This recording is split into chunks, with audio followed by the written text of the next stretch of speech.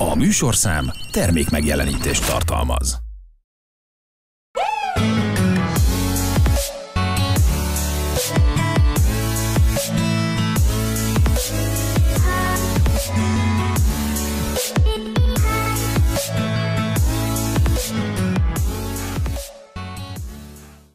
Szeretettel köszöntöm Önöket, a Nálatok Mizut látják. Ahogy látják, kedves nézőink, visszatért a régi rend. Újra én lettem a műsorvezetője a műsornak, hiszen ha látták az előzőt, akkor azt is láthatták, hogy Keller János színművész barátom volt a műsorvezető. Nem mondom, hogy rendkívüli helyzet ez, mert lesz még ilyen, hogy nem én leszek a műsorvezető, de ez majd egy későbbi adásban kiderül. Most viszont én nagyon-nagyon örülök, hogy ebben a műsorban bajnokokat köszönhetek, és már-már gondolhatnánk azt, hogy a Bajnokok Városa műsorban ülünk, de nem, Viszont én is nagyon kíváncsi voltam a mai vendégeimre, úgyhogy szeretettel köszöntöm Önöket, köszöntöm őket. Kovács Saci itt van velünk, először akkor a hölgyet fogom bemutatni. Szerintem mindenki is, mert most inkább azt mondom neked, hogy Székesfehérvár díszpolgára, és majd erről is fogunk beszélgetni.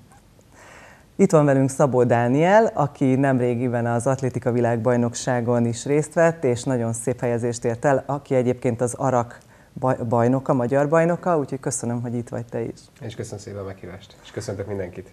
És nagy öröm, hogy itt van velünk Nemanja Nikolics Nikó, mindenki Nikója, akit pedig hát úgy fogok bemutatni, hogy Székesfehérvár tiszteletbeli polgára.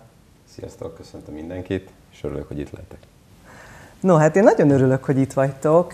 Akkor, amikor átadtuk augusztus 20-án ezeket a kitüntető elismeréseket, akkor rögtön gondoltam, hogy beszélgetnünk kell mert hát azért az, hogy Fehérváron ilyen emberek, ilyen személyiségek vannak, akik példát tudnak egyébként nagyon sokunk előtt mutatni, azt szerintem nagyon fontos és nagyon jó, hogyha tudunk erről beszélgetni egy kicsit bővebben.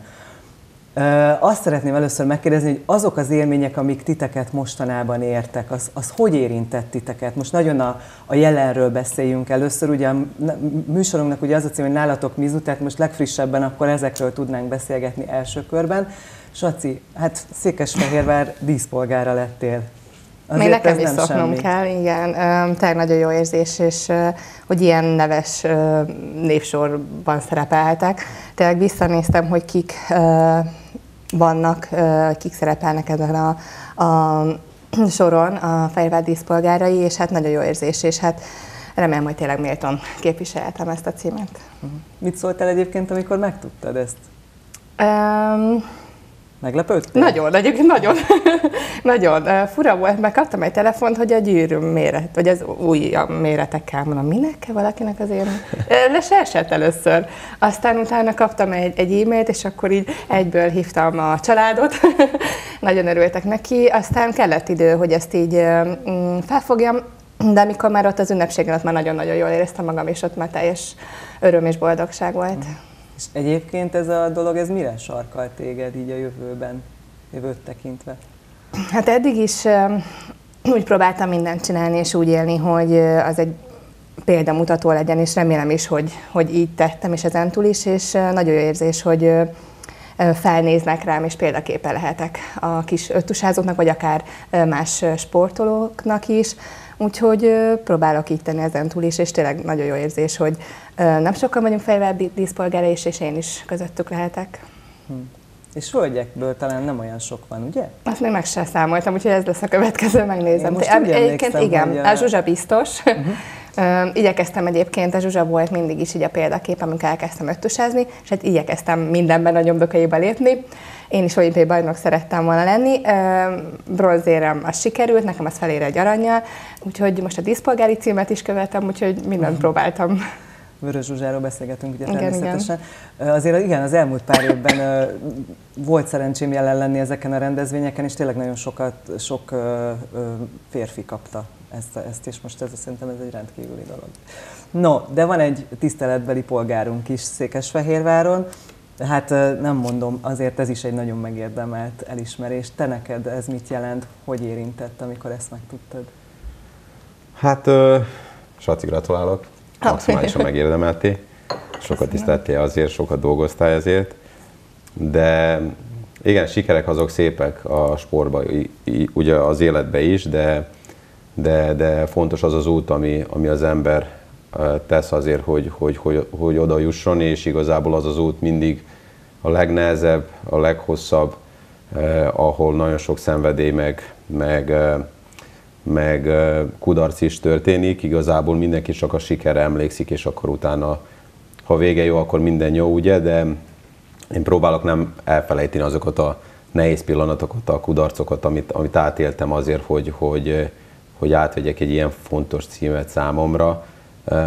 Azért is fontos, mert igazából nem itt születtem ebbe az országba, és 18 évesen, amikor idejöttem, akkor nagyon távoli volt számomra, hogy, hogy egyszer meg fogok találni egy olyan várost, ahol otthonosan fogok érezni magamat, ahol az emberek szeretnek, tisztelnek, becsülnek, és igazából még egy ilyen címet is kapni. Szerintem ez egy, egy, egy nagy dolog számomra, meg a családom számára, egy olyan nap, amit soha nem fogunk elfelejteni. Úgyhogy, úgyhogy ezáltal is köszönöm szépen tényleg a városnak, polgármester úrnak, mindenkinek, aki, aki, aki gondolt rám, és aki, aki úgy gondolt, hogy, hogy, hogy megérdemeltem ezt a címet, és úgy képviseltem a csapatot, a klubot pályán, pályán kívül, itt Magyarországon, meg külföldön is. Úgyhogy mindenféleképpen ez, ez nagyon nagy büszkeség. Örültem természetesen, meg is lepődtem, ugyanúgy, ahogy Saci is, pont külföldön voltunk, amikor kaptunk egy e-mailt, hogy augusztus 20-án mi a programom, és hogy, hogy ne tervezünk semmit, igazából jó lenne, ha Fehérváron lennék, és akkor már tudtunk, hogy igazából valami készül. Nem voltam annyira bátor, hogy, hogy, hogy gondoljak, hogy ilyen címet fog kapni, de természetesen e-mail, e-mail cím után, amikor elolvastam, akkor már, már nagyon boldog voltam, és, és, és tényleg tele büszkeséggel, hogy, hogy egy olyan országban, amikor 18 évesen beléptem, és tényleg keményen dolgoztam azért, hogy 7 év után kiérdemeljem egy ilyen címet. Ez egy, ez egy számomra fantasztikus érzés, de még egyszer azt mondom, hogy, hogy büszke vagyok azokra a nehéz pillanatokra, mert azok a pillanatok erősítették engemet ahhoz, hogy, hogy, hogy megkapjam egy ilyen fontos címet. Uh-huh. Azt hiszem, hogy olyan öt év után lettél állampolgár körülbelül? Igen, igen. Igen. Én emlékszem, hogy amikor te ide kerültél, még akkor a másik helyen volt a stúdiónk, és még akkor másképp is működtünk mi is, de mindig néztem, a, mindig bennültem a híradóba, tehát a sporthírek alatt még azért bennültem, és mindig figyeltem, és mindig láttam, amikor nyilatkoztál, és mindig azon izgultam, hogy mikor tanul meg magyarul, és hogy hát még mindig nem megy neki, és utána egyszer csak azt vettem észre, hogy, hogy, hogy olyan szépen elkezdtél beszélni, most meg már szerintem észre se lehet nem, venni, tehát hogy simán letagadhatod, hogy ez, ez mennyire okozott nehézséget. Ugye az elején akkor gondolom, hogy nagyon.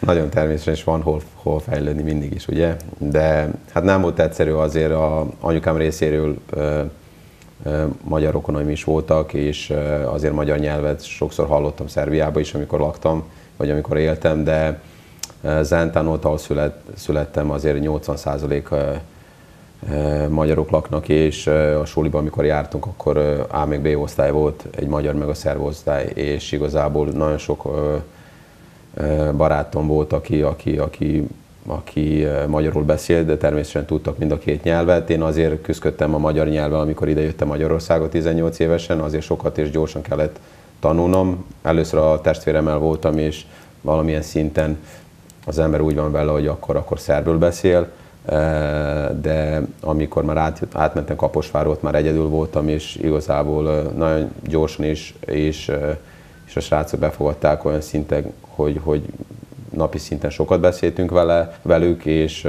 amikor megismertem a mostani feleségemet, onnantól kezdve intenzíven kezdtem beszélni 0-24-be, majd már sokszor elmondtam, hogy a filmek segítettek meg a napi szintű beszélgetés, hogy, hogy, hogy fejlődjek ebbe, de természetesen a nyilatkozatok, meg a, meg a beszélgetés az újságírókkal az nem volt egyszerű az elején, pláne nekik, mint nekem. Igazából én azt gondoltam, hogy értenek, amiről beszélek, de, de, de nem voltam ebben annyira biztos később, de igen, sokat fejlődtem ebben ezen a részen, de, de nem volt egyszerű, az tény.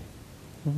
Na, azért én gratulálok ehhez. A... Szerintem simán elmehetni egy felsőfokú nyelvvizsgát letenni. Pont ez állt a fejembe, bocsánat, hogy amikor beszélt, hogy egyáltalán nem hallatszik, hogy tanult. Igen. Dani, szegény, már jó ideje, csak hallgatsz minket. Hát te még nagyon fiatal vagy hozzánk, hozzám képest, inkább csak ezt mondom, hogy hozzám képest, mert még ti is fiatalok vagytok. És még azért előtted szerintem itt az egész élet még, hogy csináld, bár mondjuk a sportolóknál azért ez hamarabb lecseng, mint ahogy, ahogy, ahogy szeretnénk. Neked ez a világbajnokság, amin most részt vehettél, mit jelentett? Őszinte leszek, lehet, hogy fiatalnak tűnök, tehát az életkoromat tekintve, de a sportban már annyira nem érzem magam teljes mértékben fiatalnak, már a, igazából a magyar mezőnyben egy öreg rókának gondolom magam, egy rutinos rókának, itt a jelenlegi 26 évenben a mai fiatal mezőnyel, aki 21-22 éves korukat élik. Őszinte leszek, nekem ez a világbajnokság egy hatalmas motiváció volt jelenleg a karrierem során, mert én tényleg, amire az előbb volt szó, tehát a sikerekért, ahhoz, hogy az ember eredményt tényleg, tényleg rögös úton kell végigmennie. Nagyon sokat úgymond szenvedés is van az életében, nem csak a boldogság és nem csak az eredményeket lá, ö, ö, látjuk, tehát a mögé, mögé is kell tudni tekinteni, és főleg azok tudják ezt teljes mértékben átélni, akik részt is vesznek ebben a munkában. Nekem sajnos egy hosszú sérülés után sikerült egy olyan formába eljutnom ebben az évben, hogy kvalifikáltam magam a világbajnokságra négyszer százon, és amiért rengeteget küzdöttem, nem csak az edzéseken, hanem a hétköznapjaimban is, mivel nekem a Covid után volt egy súlyos sérülésem, lett egy kiszakadt gerincsérem, kettő kezdetleges mellette, és én azt a hírt kaptam, hogy az idegsebész orvostól még Budapesten a Geriziójászati Központban, hogy örüljek, hogy járni tudok. Mondom, köszönöm szépen, de jelenleg járni tudok, és, és motivált vagyok, és, nem, és nem, nem úgy érzem, hogy most összedőlt bennem egy világ, hanem, hanem tényleg én, az, én ezeket az akadályokat egy kihívásnak tekintem. Ugye ez itt teljes mértékben egy más felfogás, mert ha valamit kihívásként tekintünk, akkor van motivációnk, hogy szembe tudjunk nézni vele, és, és, én, és én végig így voltam, tehát az egészségülésen. Persze természetesen voltak mélypontok, amikor úgy gondoltam, hogy na jó, ezt most már lehet, hogy hanyagolni kéne, hogyha még 50 évesen szeretnék az unokáimmal futkározni, de úgy voltam vele, hogy, hogy, hogy ez az életem, ezt szeretem, ebben találom meg a boldogságot, ez az, ami kikapcsol engem, a sport, és, és igenis szeretnék még visszatérni, mert érzem ott legbelül, tehát valami motoszkál, hogy, hogy igenis ebben még több van, amit eddig letettem az asztalra, és amire képes vagyok. És úgy érzem, hogy ez a két-három év alatt, mert ez 2020-ban volt az esélyesem, nem csak azt tudom mondani, hogy visszatértem, hanem, hanem más lettem, aki visszatért, tehát egy jobb énem tért vissza a pályára, egy tudatosabb énem, Ö, és én igazából a világbajnokságot egy, egy bónuszként tudtam felfogni, mivel ö, most volt az első olyan alapozási időszakom januártól elkezdve, hogy teljes mértékben tünetmentes voltam, nem volt ö, sérülésem, nem volt fájdalom, ami akadályozni tudott volna és úgy érzem, hogy sikerült megtalálnom magam, és tényleg az, hogy amikor az ember hosszú éveken keresztül küzd azzal, hogy nem csak a pályán, vagy, vagy a küzdőtéren, vagy ami sportot csinál, sérülés és fájdalmakkal küzd, hanem tényleg a mindennapokban. Tehát az, hogy az emberek egy zoknit nem nehéz fölvenni, vagy nem tudja a cipőjét felvenni, annyira fáj a dereka, az, az tényleg nagyon-nagyon hátráltató tud lenni, és, és egyszerűen olyan motivációt tud szerezni az az ember életében, amikor úgy érzi, hogy végre minden a helyén van, hogy, hogy eljutott abba az állapotba, hogy jó, ezen túl vagyok, rengeteget tanultam belőle, rengeteget fejlődtem, ö, ö, rengeteget tanultam és fejlődtem ebből a dolgokból, hogy, hogy, hogy képes tovább lépni. És, és egész évben én teljes mértékben motivált voltam, teljes mértékben küzdöttem a célomért, és, és tényleg nem is az volt a célom, hogy, hogy én most egyéni csúcsot fussak, vagy bármi ilyesmi, hanem az, hogy újra megszerezzem a sportnak az élvezetét, hogy ezt nem így csinálok, hogy lelépek a pályára, felépek a, a, a 100 méteres rajthoz, és az hogy, az, hogy élvezem és szeretem. És nekem most ez volt a legfontosabb célom, mert úgy vagyok vele, hogyha valamit az ember élvezést csinál és szeret, abból tudja a legjobb eredményt elérni, és nem pedig úgy, fog, hogy, hogy nekem azt is meg kell csinálnom, egy kényszer, hanem tényleg egy belső motivációból ered és, és tényleg az, hogy, az, hogy egész évben dolgoztam, és, és sikerült egy ilyen hosszú idő után képviselem hazánkat, Magyarországot, ráadásul egy hazai rendezésű világbajnokságon, ahol 35 ezer ember előtt futhattam, egy hatalmas élmény és egy hatalmas plusz motivációt jelent számomra. De akkor most neked műtéted is volt? Nem, Konkrétan műtét, gerincműtét nem volt? Nem, gerincműtét nem volt, azt mondtam, hogy nem szeretnék egy ilyen procedúra alá átesni. Bízok az orvosokban, meg bízok az orvostudományban, de abban is hiszek, hogy az ember igazából a legtöbb problémát a saját maga is meg tudja oldani, és ez természetesen úton is el lehet érni, tehát gyógytornával, úszással, ilyen kis apróságokkal, mert tényleg nem szerettem volna az, hogy egyetlen egy pici hiba miatt netán valami, valami rosszul történik, és ezáltal úgy fog felkelni másnap, vagy aznap az altatásból, hogy nem érzem a lábaimat, szóval egy ilyen kis apróságot el szerettem volna kerülni. Mm és inkább én a hosszabb utat választottam, az, hogy tényleg hosszú, hosszú folyamatos gyógytornával, úszással ezt az egészet igyekeztük rendbe tenni, és igazából itt én voltam a központ, tehát az, hogy ez minden rajtam múlott, mert többségem egyedül csináltam a gyógytornák többségét, egyedül jártam el az uszodába is, őszinte leszek, még mint szabadtéri sport, vagy szárazföldi sportoló, nem igazán szerettem a vizet. Eléggé fárasztó volt, hiába jártam kiskoromban tusázni, Egyszerű, egyszerűen ez alatt a 20 év alatt annyira, annyira elszoktam az úszás módtól, tehát ettől a sportáktól, hogy még az is a nehezemre esett, hogy két hossz leúszok, de aki uh-huh. kellett ülnöm a, a, a, a medence szélére és levegőznöm, hogy, hogy úristen, most mindenem beállt, mindenem fáj, hogy tovább, de, de igen, ez, tényleg ez, ez tényleg egy hosszú út volt, és, és egyedül kellett végigcsinálnom, mert nem volt az, hogy a gyógytornákat felügyelték folyamatosan, hanem heti, egy, két, heti egyszer, vagy két hetente egyszer sikerült elmennem, és utána pedig ezt rendszerességgel saját magamtól kellett az, hogy lemegyek a pályára, igen, ott megcsinálom, kontrolláltan, teljes mértékben figyelek De a dolgokra. Egyedül, kérdezhetem, egyedül Persze. mész? Vagy ilyenkor hogy, mi, hogy telnek a napjaid? Vagy, vagy reggel fölébredsz, egyedül kimész a pályára, megcsinálsz dolgokat, vagy van egy melletted egy edző, vagy igazából csapatként edzetek? Mert azért most foci az, az, az csapatsport, igazából az, az, az tudjunk ugye, hogy, hogy 25-en vagyunk, megyünk, csinálunk, vannak feladataink, és ennyi. Most nálatok hogy van? Mondjuk egyénileg készülsz, vagy, vagy... Igazából nálunk nincsen meg az a szakmai stáb, ami, ami megvan például a, a csapatsportágakban, nincsen meg az a támogatottság. Ráadásul nekem a sérülésem következtében utána minden támogatásom úgymond megszakadt, és, és önerőből meg az Egyesületem támogatásával sikerült igazából fél éve. Szóval van egy programod, és program, program szerint csinálsz dolgokat. Igen, fogalmazhatunk így is. De a gyógytornát a heti egyszer, egy alkalommal tudtam elmenni, és utána, amit ott tanultam, azt hoznom kellett magammal, és van egy edzőm, Marga Tamás bácsi, de ő leginkább a szakmai része ezért a dolgoknak, tehát a futótechnika, a futómozgás, az edzéstervezés, és tehát a rehabilitációban ő nem a, tényleg nem is a feladata az, hogy ő most ennek az minden egyéb kis csinyát, tudja, és emiatt teljes mértékben úgy döntött, hogy én fogom ezt megoldani, és én is tényleg kutatómunkát végeztem, hogy mit, hogy mit hogyan kell, mi lehet jó az adott sérülésre, és, és nagyon sokat tapasztaltam a saját bőröm által, hogy mi lehet a jó, és, és tényleg így sikerült eljutni egy olyan állapotba, hogy, hogy mondhatom azt, hogy meggyógyultam, tünetmentes uh-huh. vagyok. Én értem, hogy bocsánat, hogy azt kérdezted, hogy nem egyedül, nekem is fura, én is Igen. egyéni sportágat üztem, de én is minden csapatban. Nekem ami nagyon nehéz lett, most, amit elmondtál, hogy te fel kell egyedül reggel és lemenj az usziba. Nekem is az volt a, a támogatás, meg az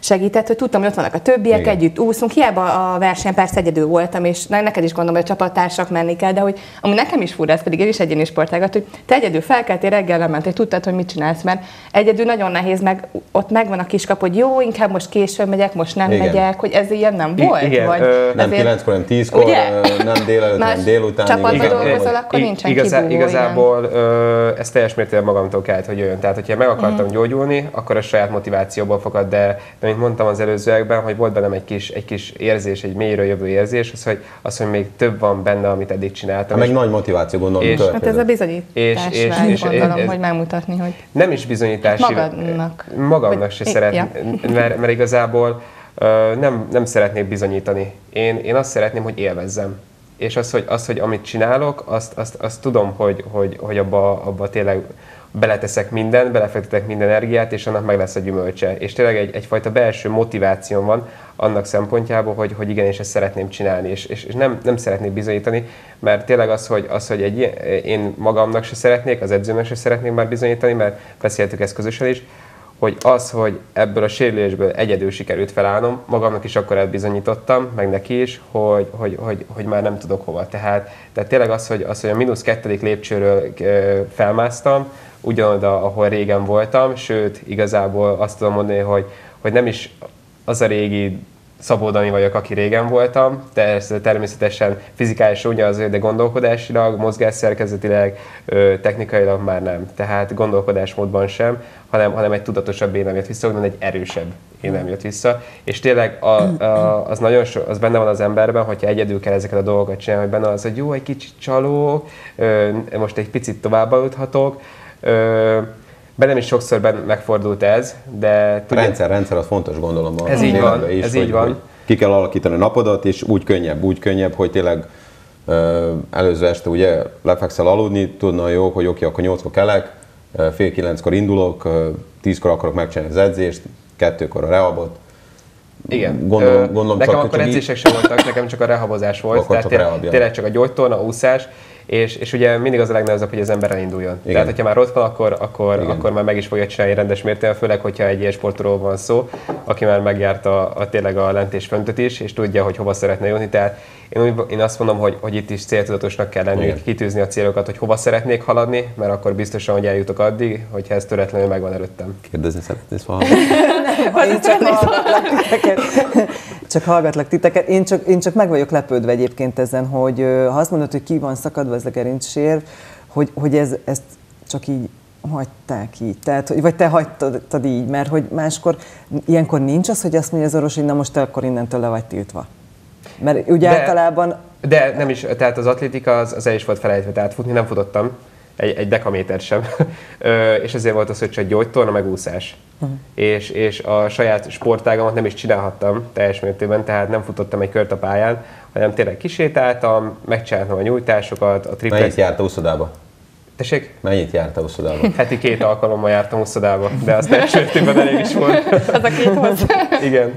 Egyébként én is minden sérülés után úgy jöttem vissza, hogy sokkal erősebb vagyok, és hogy hogy megerősített, és hogy, hogy olyanokat csináltam én is, hogy azt hittem, hogy el nem vagyok képes. Például nekem, amikor az olimpia előtt volt a trombozisom, uh-huh. És nekem is azt mondták, a semmi, hogy feküdjél. Azt se tudták, hogy mi van. Utána jó, akkor ezt csináltad, és, mi, és ott napról napra éltem. Mindig megmondták, hogy most ezt csináltad, azt csináltad, de sose tudtam, hogy mi lesz a vége, nem láttam a végét. De mindig mondom, amit megengedtek, azt megcsinálom, és akkor ez engem előre víz. De ott volt olyan időszak, amikor nem edzhettem ugyanígy, és én elmentem edzőtáborba, leutaztam, akkor elmentem a vívóterembe, és ültem, és néztem őket, és hogy fejben készültem. Elmentem az uszodába, és néztem, hogy hogy úsznak, szóval uh-huh. így, hogy, hogy azért nem csináltam úgy semmit, de hogy, hogy mégis próbáltam így, a és akkor... Hát igen, mert készülni Na, kellett. Igazából igen. pár hónapra rá volt az olimpia, nekem meg azt mondták, hogy feküdnöm kell, nem is mozoghatok, azt se tudják, hogy ez most elindul ez a vérrög, vagy sem akkor sok vérhigító, aztán megkaptam az engedélyt, hogy edzek, de hát annyi vérhigítót szedtem, hogy hát víváson hát felálltam a másik, aztán megszúrt, hát lilultam meg, minden hm. bajom volt, és akkor több ruhát vettem föl, akkor... Megért hát, mi? Tessék? Megért a végén. Én meg, a végén, igen, nagyon-nagyon. Igazából. És azt lehetett tudni, hogy ez mitől volt neked? Igen.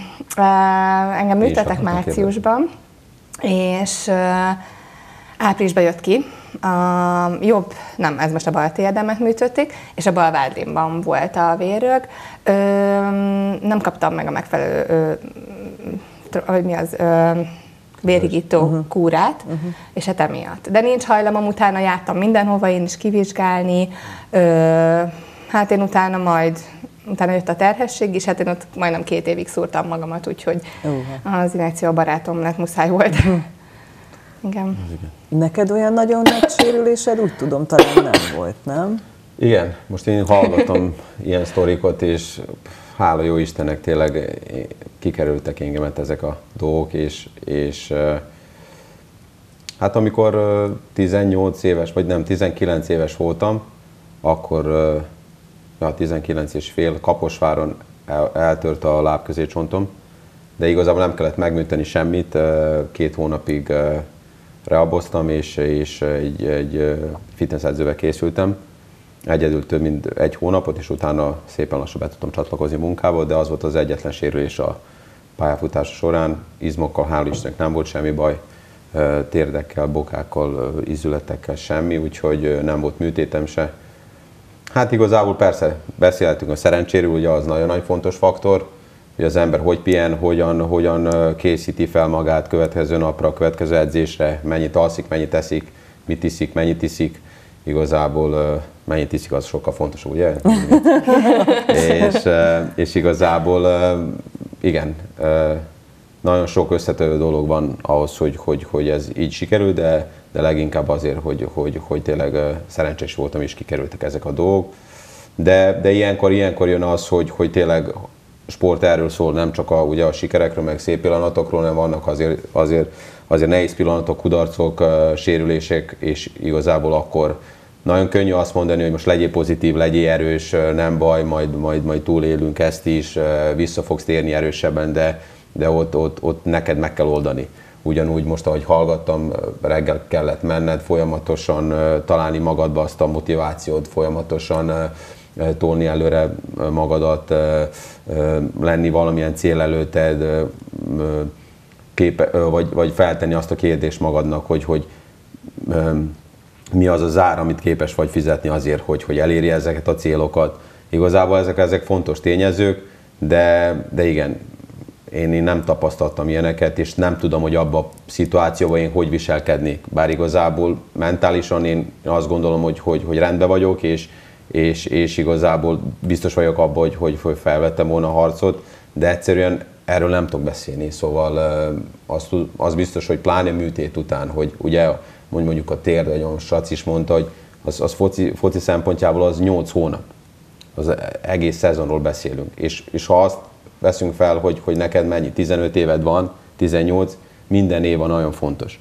Az, hogy csak egy év, hogy, hogy visszatérjél, de hogy, hogy újra forma, formába lendülj valakinek, lehet, hogy egy, egyből formába lendül, valakinek meg lehet, hogy egy-két év kell. Utána már nem egy évről beszélünk, hanem már három, három évről beszélünk. Szóval azért ez nehéz, nehéz, nehéz pillanatok, nehéz szituációk, de, engem, engem, én hál' Istennek nem tapasztaltam ilyeneket. Nekem de nagyon sok sérülésem és műtétem is volt, de valahogy mindig úgy tértem vissza, hogy nem tudom, én mindig ezután mindig jobban akartam, és még jobban meg akartam mutatni, hogy ezzel együtt is nagyon jó vagyok, és meg tudom csinálni. Nekem 2016-ban volt a lágyéksérműtétem, szóval mindenféle műtétem volt egyébként, és tudom milyen a gerinc, hát nem tudom pontosan milyen, hogy kiszakad, de van kettő kezdetleges gerincsérve. Most hát egy gerinc, egy nyaki, úgyhogy nagyon rossz, amikor főleg, hogy lehajolsz és úgy maradsz, uh-huh. úgyhogy el sem tudom képzelni, milyen, amikor teljesen kiszakad, szóval ú. Nekem is három. De nekem is csigai szakadásom volt, igazából azon nem kellett semmit csinálni. De, nekem azt mondták, hogy, hogy erősítsek, és ennyi, de igazából azt éreztem, hogy, hogy innen lent, lent ment a lábam, meg zsibbad, és húztam a lábamat. Igazából az nekem két hónapig volt olyan, az pont, amikor eljöttem Magyarország is az első évemben. És bocsánat, hm. közbevágtam, de, de, de igazából igen. De nekem nem kellett semmit csinálni vele, igazából sokat kellett erősítenem, és igazából gyógyszereket szedtem, inekciókat kaptam erre, de, de, de a erősítés után akkor már nem, nem éreztem, nem is, nem is foglalkoztam ezzel, úgyhogy lehet, hogy még mindig itt van, és, és igazából úgy játszottam végig a pályafutásomat ezzel, de, de ez kellemetlen érzés, az biztos. Ja, bocsánat, csak igen, azt akartam mondani, 2016-ban volt, hogy Májusban volt a VB, és márciusban műtöttek, pont a szülinapomon. és uh, lágyéksérvel ki Németországba, hazajöttem, és mondom, egy, azt mondta az orvos, hogy egy hét igazából elkezdhetek mozogni. Nagyon fáj, de mondom, egy hét, akkor én bírom, és elkezdtem mozogni, és hát úgy volt, hogy márciusban műtöttek, és májusban nyertem a felnőtt világbajnokságot, és vagy teljesen mindig úgy voltam, hogy ezek nem tudom, megerősítettek, és ugyanez volt olimpia előtt, mondjuk az egy kicsit... Azóta uh, valami. Igen, igen. A Zsuzsa is ezt mondta, olimpia előtt, hogy trombozison volt, műtöttek ugyanúgy márciusban, de akkor térműtét, az volt már a harmadik. Márciusban műtöttek, augusztusban olimpia, közben jött egy trombózis is, és Zsuzsa, mm, akkor minden rendben lesz. Én megnyugodott. Én nem, hát jó, persze ő sem volt ennyi nyugodt, de hogy valahogy éreztem. És nekem az is, hogy, a, hogy látom a versenytársaimon, hogy ah, jó van, sérült volt, olyan van, nem is volt verseny, és akkor ez így bennem van, hogy mi? És akkor még jobban így, így nem tudom, spanolom magam, és akkor csak azért is ez a dac, vagy ez a dű, vagy nem tudom, ez így kijön mindig. Én még visszakanyarodnék annyira a sérüléseknél, hogy, hogy tudom azt, hogy valakinek, tehát most beszélünk egy térműtetről, hogy 8 hónap kihagyás jelent ez az egész dolog, és utána, hogy visszaendőjön a teljes formájába, tehát a régi formájába, az akár egy-két évet is még pluszra felül felírhat, de én úgy vagyok fel, hogy ezekkel a sérülésekkel muszáj türelmesek lenni. A leges legnehezebb szó, akár egy sportolnak, akár a való életben, hogyha bármi azt hát mondjuk, hogy nehéz, türelem. Tudod? Nehéz, türelem. nehéz, hogy mikor térje vissza a pályára. Így tudod? van, de, de türelmesek kell lenni tényleg, amíg, amíg az a teljes mértékben jó lesz, vagy, vagy használható az, az egész, egy izom, egy csont, vagy bármiről beszélünk, vagy az életben mert igazából, hogyha az ember ezt túl korán elkezdi ö, erőltetni, akkor utána az további láncreakciókat tud Tehát nem csak a térde fog fájni, elkezd fájni a bokája, mert a test ez egy olyan csodás eszköz, hogy, hogy egyszerűen adaptálódik, és, és minden másba aktivál, és jobban átterhel a különböző dolgokra, és ezáltal egy, egy, egy hosszú folyamat indul el, ahelyett, hogy igazából még várt egy-két hónapot az adott illető, és teljes mértékben rendben lett volna. És, és tudom azt, hogy beszélünk 15-16 évre egy sportkarrierből, de hogyha, és tudom azt, hogy minden egyes év fontos, de, de hogyha megnézzük azt, hogy két évet feláldozok, feláldozok azért, hogy még legyen 13 jó évem, az teljes mértékben megéri, mint az, hogy éveken keresztül, tehát ez egy hosszú folyamat, 5-6 éven keresztül ö, elhúzódjon ez az egész dolog.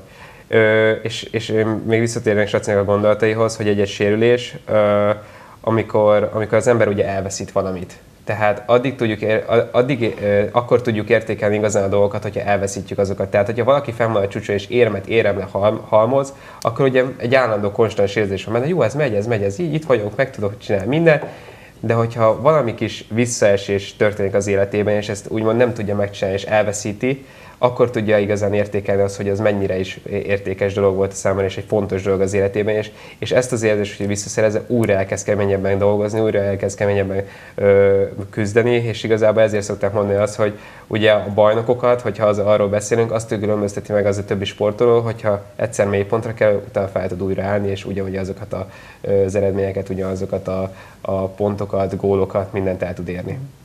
Az biztos, hogy a sport az mindannyiótokat nagyon-nagyon sok mindenre tanította, azt így látom így a beszélgetésünkből.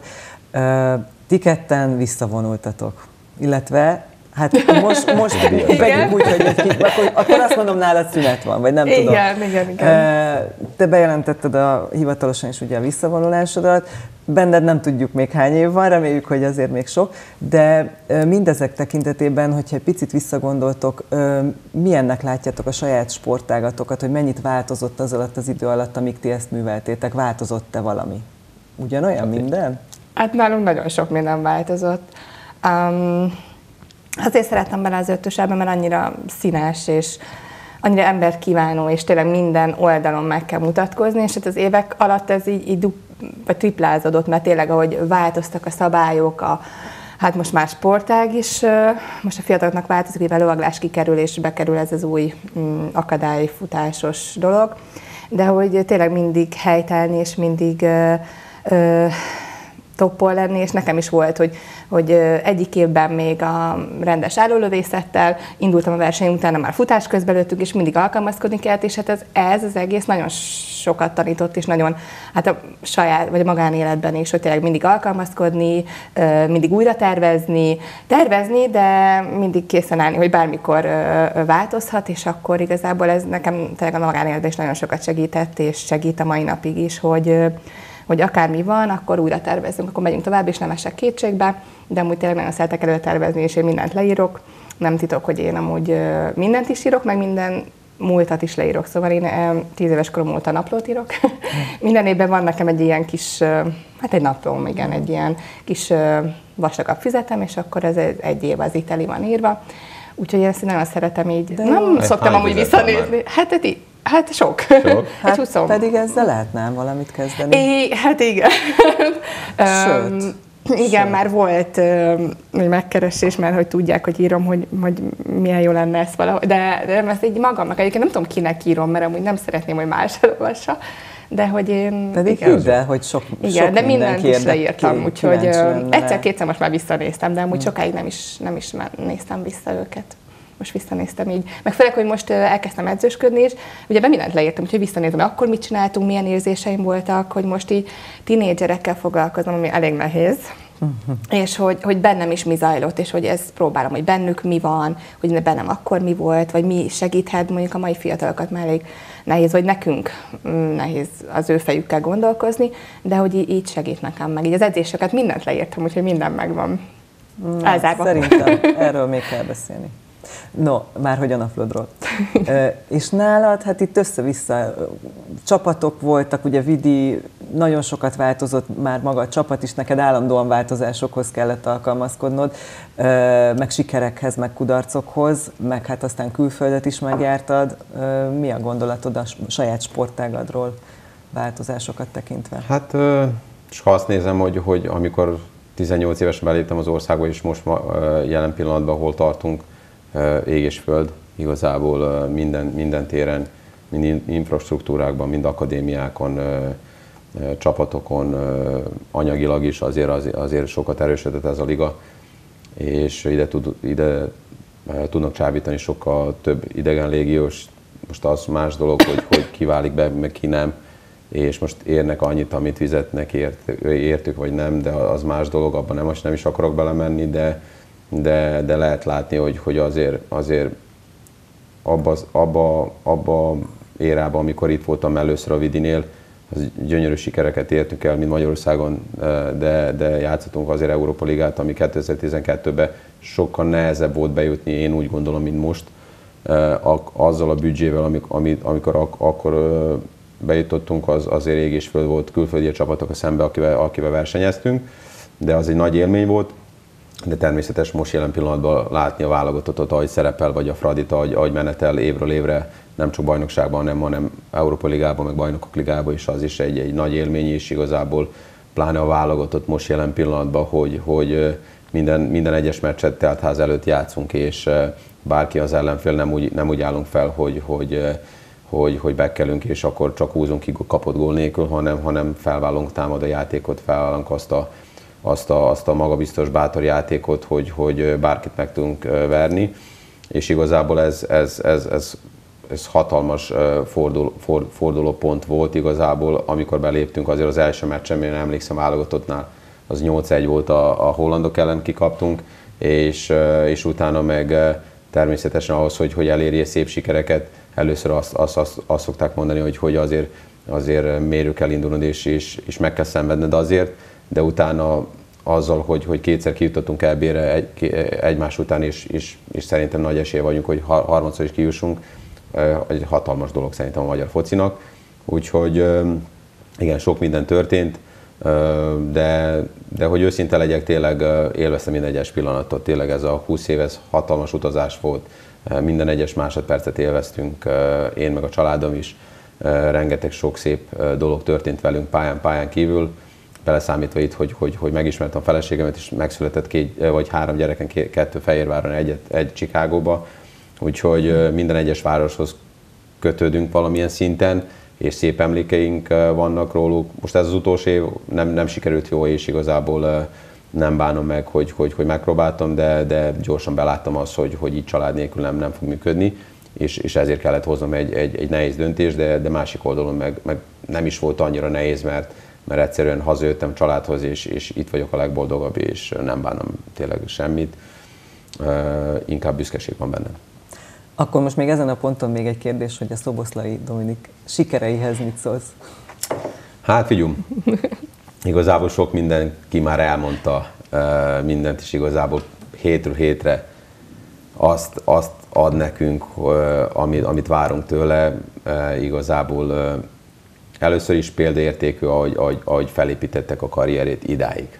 Beszélek arról, hogy, hogy azért az apukája, meg a családja, anyukája az egész család mellette volt, szépen lépésről lépésre, ahogy szokták mondani, felépítettek, felépítettek a domit, itt először Magyarország, utána kiment külföldre, azért Ausztriába is, is négy évig focizott, és is nagyon szép sikereket ért el, erősödött mentálisan, fizikálisan ahhoz, hogy, hogy előre lépjen megint újra, maradt abba a, a, a, a úgymond a Red Bull családba, elment Leipzigbe, Bundesligába, letett a névjegyét, ott is hétről jó szerepelt, és igazából időkérdése volt, hogy mikor fog aláérni egy ilyen top klubhoz. Nem azt mondom, hogy a Lipcse nem volt az, sőt, Lipcse is top klub volt, gyönyörű eredményeket értek el, megnyertek kupákat, játszottak BL-t, sokáig is jutottak BL-be, de, de azt mondom, hogy ő amit mondtam neki, ő is elithez tartozik, és ő erre született. Igazából, ahogy már mondtam, a családi háttere, a menedzsere mellettük, mellettük van, és, és, és, és igazából segítenek neki abba, hogy, hogy a személyisége is, is, is fejlődjön, igazából, hogy, hogy helytálljon, és, és azzal, hogy, hogy csapatkapitány is lett magyar válogatottban, szerintem nagyon jót tett neki igazi vezér idáig a, a, a válogatottnál, és, és a Liverpoolba is annyira gyorsan beilleszkedett, mert iga, ilyen a karaktere, ilyen a személyisége, hogy, hogy számomra ez csak a, a kezdete, igazából csak most jön az az igazi, amit, amit várok, vagy várunk tőle, ami azt jelenti, hogy, hogy, hogy jövő nyáron arról beszélünk, hogy, hogy tényleg egy magyar játékos meg fog nyerni egy Premier League-et, vagy, vagy amikor vissza fog térni a bajnokok ligájába a Liverpool, nem ebbe az évben, hanem a következőben, akkor hogy, hogy megnyerenek a BL-t, mert igazából Domi egy olyan játékos, aki ezt már nyilatkozta évekkel ezelőtt, hogy, hogy neki az a célja, hogy, hogy,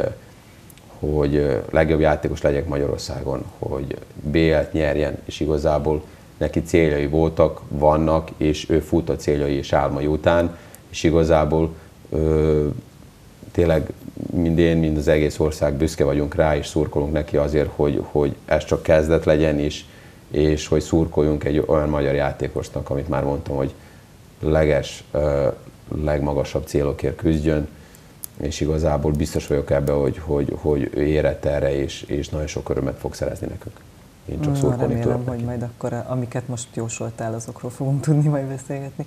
Dani, ugye te is edzősködsz is, te hogy látod ezt az elmúlt időszakot itt a hátad mögött, mennyit változott az atlétika?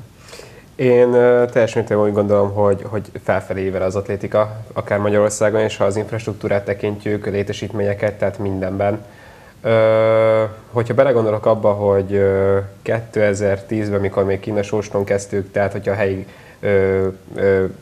helyi dolgokban gondolkodok tényleg, hogy még Kína Sóston kezdtük, egy Kína vidi pálya mellett egy 400 méteres rekordtánon, akkor most egy kézkomplexumban tudunk mi is készülni fedett pályával, amiről akkor még csak álmodozások voltak, és ez tényleg meg is valósult. Ö, ö, és tényleg, a, hogyha az országban is körbenézek, akkor, akkor tényleg a világ, tényleg világszínvonalú stadionok épülnek, ha most gondolok a Nemzetközi Atlétikai Stadionra, vagy például most a TF pályát is felújították teljes mértékben, és az is egy, az is egy nagyon-nagyon jó létesítmény lett, vagy akár az MTK-ra gondolok, Nyíregyházára, amilyen sportkomplexumot létrehoztak ott. Tehát szépen léptek, apró léptekben épül szépül a mi sportunk is, és a mi versenyszámunkban nincsen változás, maximum annyi, hogy a váltókat kicsit megvariálták, hogy már van 4x4 mix váltó is, de, de ott, ott maradtak az original számok, tehát az eredeti számok, amik voltak már a kezdetektől. De én, én azt tudom mondani, hogy, hogy, hogy a versenyszámok is olyan szempontból évről évre változnak, hogy technikailag. Tehát, tehát nagyon sokan azt gondolják, hogy a sprintfutás is annyi, hogy beállok a radgépbe, és akkor nagyon gyorsan végigfutok 100 métert, de nem, mert az is szépen lépésről lépésre fel van építve. Tehát tényleg az, hogy, az, hogy egy évig készülünk azért, hogy akár egy 500 másodpercet tudjunk faragni az adott időből, ahhoz is tényleg egy évnyi készülés kell, sőt nem is biztos, hogy összejön az, a, az az eredmény, amit szeretnénk, és hogyha most belegondol az ember, hogyha most 100 méteren, most hogyha a világ egyik nézzük, 9 másodperc, 80 század másodperc alatt lefutják a 100 méter, ők arra ö, tényleg éveken át készülnek, és ott is egy több mint egy órás bemelegítést csinálnak, egyszerűen elképesztő és, és tényleg az, hogy az atlétikában és Magyarországon is egyre több figyelmet szentelnek a, a rehabilitációra, a prevencióra, és, és észrevették azt, hogy tényleg segítséget kell kérni nem csak magától az edzőktől, és hanem több fajta oldalról kell megközelíteni, erőléti edzőt is be kell iktatni, tényleg a masszázsnak nagyon fontos szerepe van a gyógytornának, tehát a prevenciónak, hogy ez elkerülhetetlen, és nagyon fontos lényegében. Tényleg azt látom, hogy, hogy szépen apránként fejlődik és, és, és lassan eljutunk oda, ahova a többi nagy ö, ország ö, már, már réges-régen eljutott, de is ö, lassan képesek leszünk felvenni velük is a versenyt.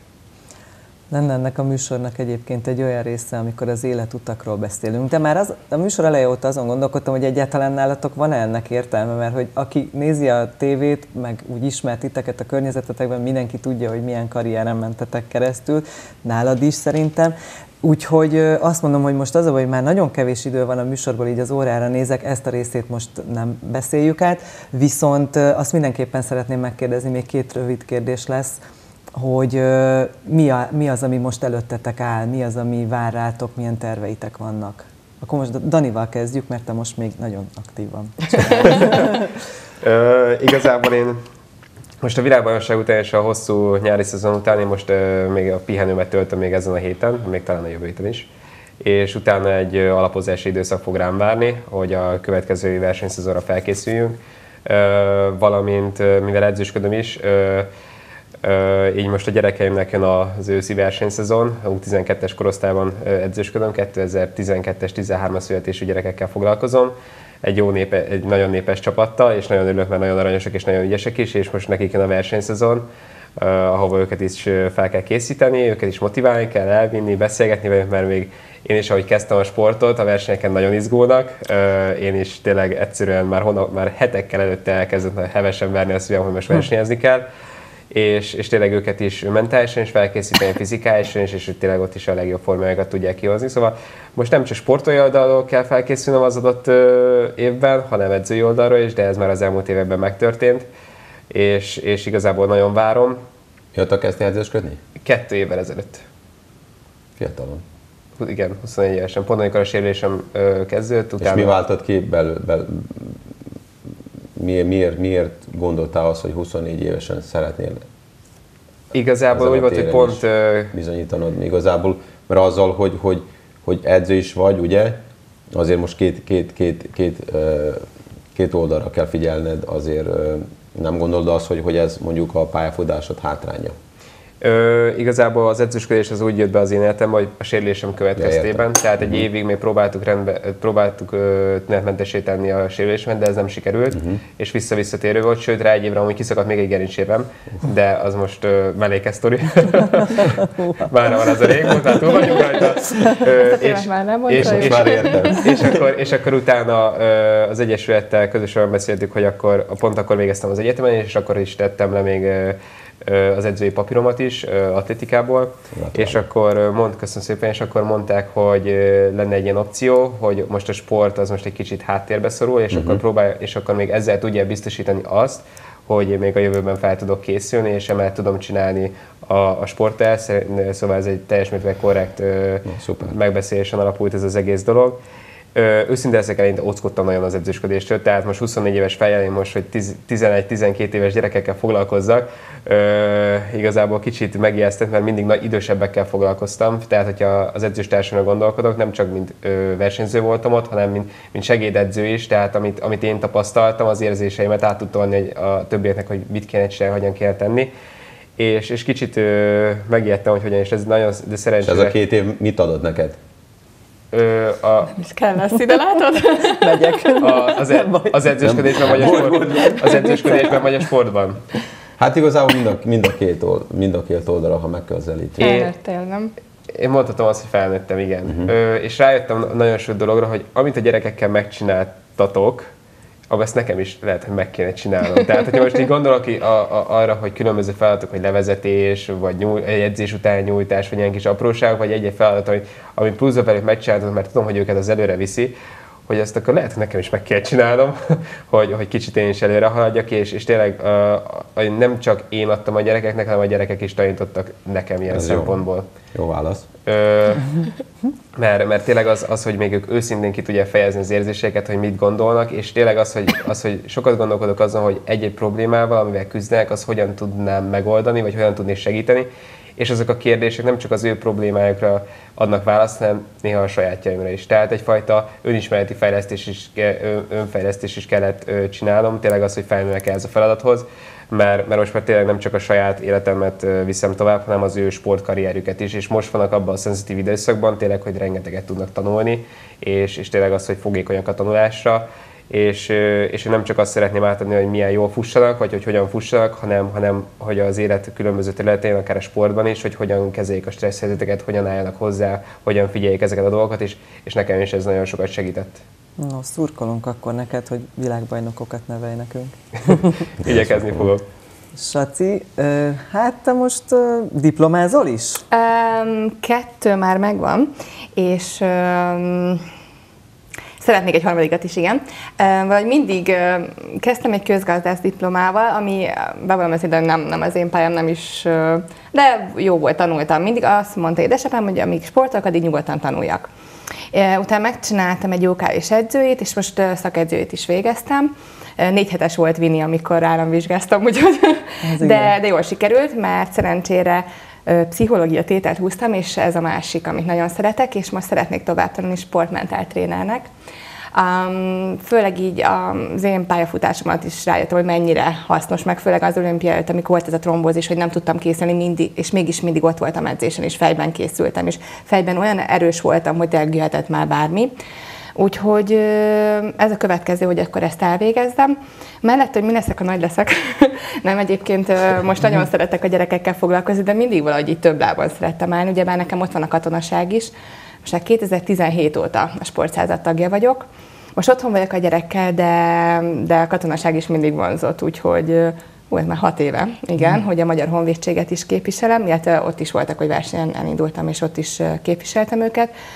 Hát már elkezdtem edzősködni, hogy terhes lettem, és hát nagyon megszerettem. Egyébként, amikor fiatal voltam, mindig tanárnéni szerettem volna lenni, szóval én a kisgyerekekkel foglalkozni. Erre most megkaptam így a tinédzsereket, akik nekem is egy nagyon nagy feladat és kihívás, mert hát nehéz, eleve nagyon közel vagyunk korban is, és ők is már azért ez a felnőtt teg, de még gyerekek, szóval itt tényleg megtalálni a közös hangot, de nagyon szeretem, és tényleg kihívás napról napra, illetve most ebben az évben volt szerencsém, mert tényleg áldott jó gyerekem van, úgyhogy nélkülem is tök jól boldogul, hogy elutaztam velük külföldi versenyre és én most érzem azt, hogy jól vagyok. Nekem nagyon hiányzott, hogy utazzak, nem is az utazás, hanem hogy versenyen legyek. Nem én versenyzek, de én nem tudok aludni előtte, én izgulok, én rosszul vagyok. Én teljesen úgy, mintha én versenyeznék, úgyhogy nagyon jó érzés. Én nagyon szerettem egyébként izgulni, meg, meg nem aludni, meg készülni, és most újra visszakaptam ezt az érzést, hogy utazok, versenyre megyek gyerekekkel,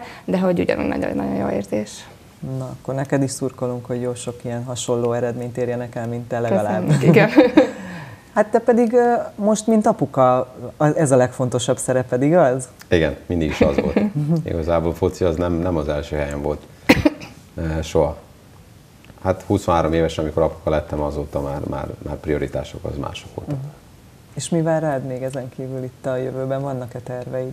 Hát vannak, vannak tervek, de igazából inkább arról szeretek beszélni, amikor konkrét dolgok vannak. Az, hogy mit, mit akarunk, vagy mik a vágyaink, mit szeretnénk, az, az egy dolog, és azért tenni kell, hogy ez, hogy, hogy ez meglegyen, és akkor utána milyen lehetőséged lesznek, az már totál más, az már nem tudsz kontrollálni, ugye. És, és igazából most, most, most jelen pillanatban, igen, 0-24-es apuka, férj vagyok, viszek gyerekeket iskolába, hozom őket haza. Sportolnak, bocsánat. Sportolnak? Igen, ezt akartam hogy focista lesz? Igen, hát most igazából az majd kiderül, az hosszú a folyamat de most így 9 évesen a Márkó, igen, már három éve Vidibe játszik, és szeretne focista lenni egyik nap. Minden egyes segítséget próbálok megadni neki azért, hogy ott vagyok mögötte, és próbálok segíteni neki ezen a téren, de, de a pályán dőlnek el a dolgok, úgyhogy, úgyhogy ott neki kell boldogulni egyedül, és neki meg kell oldani ezeket a szép és nehéz pillanatokat, de, de de igazából úgy azt tanítom neki, hogy, hogy tényleg eh, bátran vágja neki, és, és alázatosan eh, kell csinálni minden egyes, pillanat, minden egyes napot, minden egyes edzést, tele szenvedéllyel, eh, maximális hozzáállással.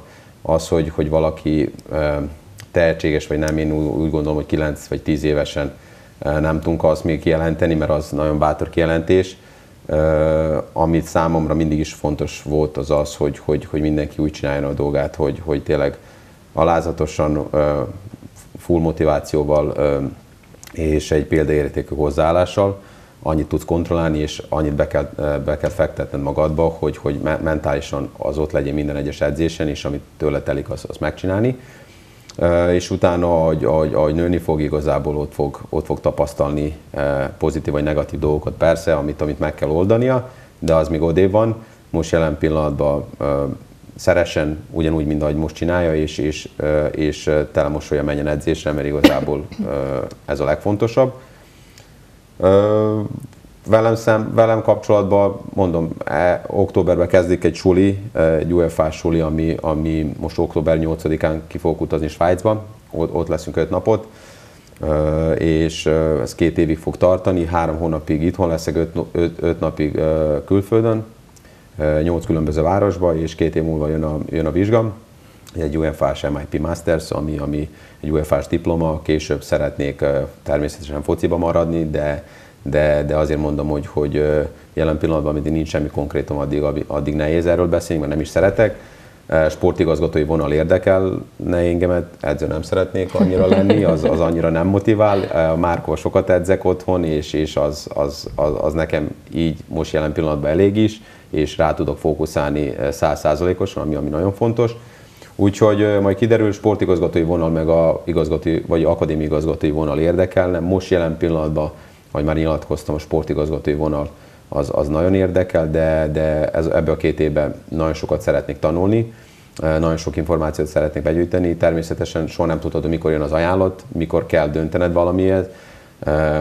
Az, akkor fog gondolkodni ezen, amikor, amikor, amikor valami konkrétum lesz. Addig, addig most jelen pillanatban szerényen nulláról akarok felépíteni magamat, és az, hogy most milyen játékos vagy milyen focista voltam, az már múlt, igazából azzal nem is akarok foglalkozni, most egy, egy, egy, egy újabb szakasz következik, egy újabb, mondjuk egy ilyen 20 évre gondolkodok előre, és, és remélem, hogy ez, ebbe a pályafutásba is kapni fogok nagyszerű élményeket, és, és helyet tudok állni, de, de, de ez most még sokat kell tanulnom. Nagyon jó hallani ezeket a céltudatos terveket, gondolatokat. És akkor remélem, hogy a mm, kisfiadról majd még azért hallunk, hallunk, és figyeljük veled kapcsolatban is természetesen a híreket.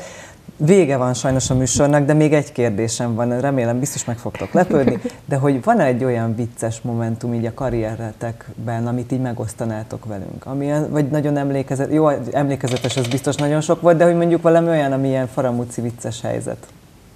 Vagy mindig minden. Hát mondjuk a sportban gondolom nyilván nem a fegyelmezettség és minden körülmény olyan, hogy, hogy komolyság most, van, nagyon de kellene mondani, mi valami nagyon vicceset. Most ilyen nagyon komoly dolgokról beszéltünk, most erre van írálva, Igen, valami viccesre gondolni. Hát. Biztos, hogy volt, mert nagyon sok minden volt.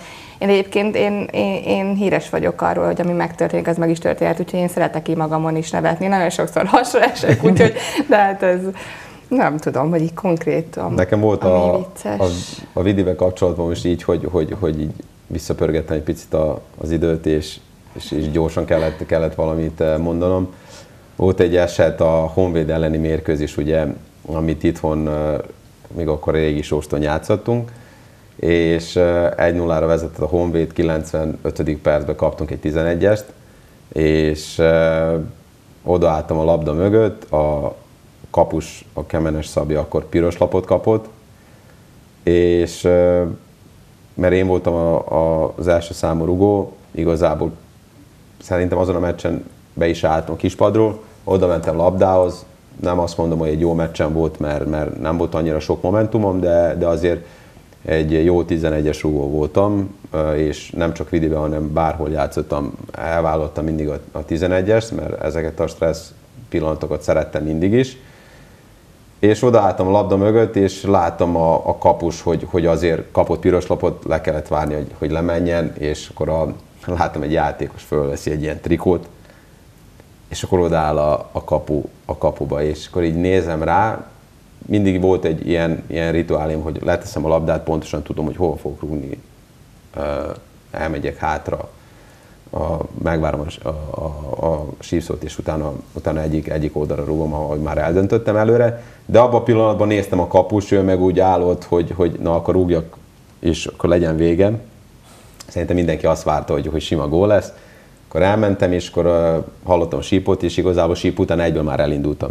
Többször fújtam egyet, és elindultam és abban a pillanatban meg ilyen 10-15 másodpercig álltam, és nem tudtam, hogy most mit reagáljak, hogy reagálok, hova rúgjak, jobbra, balra, középre, maradni fogott, vetődni fog, nem fog vetődni, fölrúgjak, nehogy, nehogy rizikóljak, hogy, hogy kapu fölé menjen. Hát mondom, jó, elrugom egy oldalra, erősen mondom, úgyis nem fog vetődni. Elrúgtam, abban a pillanatban nem láttam, hanem csak azt, azt, azt éreztem, és utána láttam, hogy, hogy, hogy ő vetődött, gyönyörűen kivéte, mindenki odafut hozzá, ráugrott a, a, játékosra, a számomra így, így, így roló, mintha leúzták a rolót, sötétség, nem hiszem el, elkezdtem izzadni, 95. perc, igazából ezzel, ezzel tudtunk egy pontot tartani itthon, bár igazából nekünk abban a pillanatban három pont volt a, a lényeg, de akkor is azért, azért az, hogy, hogy, hogy egy játékos kivégyen 11-est, az, az esély az, az, az nagyon minimális. Hát velem ez is megtörtént igazából, de... Utólag de ez vicces, ott nem volt vicces, igen, ugye? a Saci is, ahogy mondjam, mert utána kaptunk egy három, három szabadnapot, mentünk a Balcsira is, és egy másnap így, így, így szerettem elolvasni az újságokat, minden. Abban a szituációban mentem, a pont, pont akkor Tiana is volt, akkor mentünk, és akkor hát vegyek, ne vegyek, akkor tudod, mindenki kirögött a Youtube-on, nem tudom hányan megnéztek ilyen funny videóban, meg az újságban mindenki kirögött. Hát mondom, most jelen pillanatban rögünk rajta, de mondom, aznap nagyon ideges voltam, másnap már én is elkezdtem rögni rajta. Megnéztem a 11-es, utólag azt mondom, hogy, hogy majd most jelen pillanatban is ugyanúgy rúgnék, mint, mint abban a szituációban. Kapus nagyon védett, de ami nagyon zavart az az, hogy kap, a, a játékos azt nyilatkozta, mert megkérdezték tőle, azért szenzáció volt, hogy hogy, hogy, hogy egy játékos kivét egy tizét, és akkor azt mondta, hogy hát figyelj, ha rúgta volna a másik oldalról, de nem tudok vetődni, hanem azért vetődtem ide, mert csak erre az oldalra tudok vetődni. És az én, az én oldalam mondjuk 80% mindig másik oldalra rúgtam. Most jelen pillanatban váltottam, nem tudom, hogy miért, de, de igen, ezt is felvállalom, és, és igazából valamilyen szinten, ha valamire kell mondom, akkor én ezt mondtam volna. Dani, egy nagyon rövid választra van már csak időnk. Volt valami nálatok így az atlétikában? Hú, tényleg én is csak azt tudom mondani, mint a Saci, hogy komoly témákról beszélgettünk, és így most nem, de, de így most elgondolkodtam, és igazából ez csak azoknak lehet vicces, akik az atlétikában vannak. Pont tavaly évben volt egy csapatbajnoki döntő még Debrecenbe, és, és úgy van, csapatban döntő, hogy egyesületek versenyeznek egymás ellen, és pontokat kell gyűjteni, és, és volt éppen a 100 méteres fér, férfi futam, amiben szerepeltem a 8-as pályán. És úgy van, hogy nálunk van egy ilyen kis rajtkő, tehát ugyanúgy, és azon vannak zászlók, hogy sárga vagy piros zászló, és ugye a sárga, hogy figyelmeztetést kaptunk, piros, hogy kiállított, de ezt nem nagyon szokták felhajtani, főleg egy ilyen versenyen és volt a százas, dö, vagy százas futam, és volt mellettem egy srác, aki egyfolytában fújtatott, tehát egyfolytában ott liheget mellettem, hangosan, hangosan kiabált, tehát úgy, amikor már ben voltunk a rajt helyzetben, és ez egy kicsit megzavart, és ki is ugrottam. És éreztem, hogy én ugrottam ki, és uh, tényleg kínos pillanat, de azt sem tudtam, hogy mit csinálják. Tehát éreztem, hogy jó, kiugrottam, de mondom, remélem, hogy nem zárnak ki, ott fel a bíró, és mutatta nekem a piros lapot. És akkor mondták, hogy köszönöm szépen, sétáltam visszafelé, és azon gondolkodtam, hogy vannak ott ezek az zászlók, mondom, hogy ha már segítek neki, akkor mondom, felhajtom az én kis piros zászlót, és akkor így békességben levonulok. De nálunk ez azért szokott vicc, mert tényleg ezt nem használják, és, és az ottani versenytársak, meg mindenki, csak így mondták, hogy jó van, Dani, ez legalább egy vicces pillanat volt itt az atlétikában, vagy legalább valamit alkottál, de, de tényleg ez egy ilyen belsős poén, de most így össze, most így hirtelen nem teszem nekem se ilyen Hát komolyabb talán azért is, mert nektek azért az leginkább a fegyelemről szól. De azért néha nyilván becsúszhatnak malőrök. Én nagyon örülök, hogy itt voltatok és beszélgethettünk, és szerintem nagyon sokaknak példát mutattok. Elég csak rátok nézni, és nagyon jó volt hallgatni azt, a, azt az alázatot, azt a tiszteletet a sportágatok iránt, ami, ami végigvisz titeket ezen az úton. Úgyhogy én nagyon-nagyon köszönöm, hogy itt voltatok, és remélem, hogy lesz még alkalmunk beszélgetni a jövőben akár ugyanebben a felállásban is, de mindenképpen a karrieretek alakulásáról. Köszönöm, hogy Mi is köszönjük, köszönjük szépen a meghívást. Ez volt a Nálatok Mizu kedves nézőink, nem a Bajnokok Városa című műsort látták. Én nagyon örülök, hogy vendégeimmel egy nagyon jó beszélgetést láthattak. Tartsanak velünk legközelebb is. Viszontlátásra!